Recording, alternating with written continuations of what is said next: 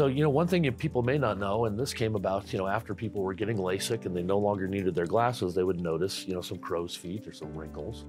Um, and so our doctor is uh, certified to do Botox. So that's botulinum toxin A. There are some procedures or Botox treatments that you can use to help with migraines or ocular migraines where people get headaches kind of that feel like it's behind your eye. You can do Botox for sweat glands or people who are overly sweaty and things like that. Botox can help with that.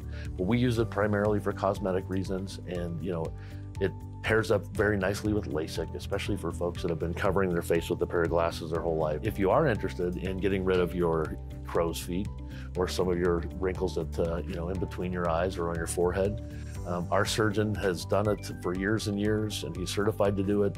And again, this is his area of expertise. He's had great success. So, so come and see us. And we've got a great Botox program for anyone who's interested.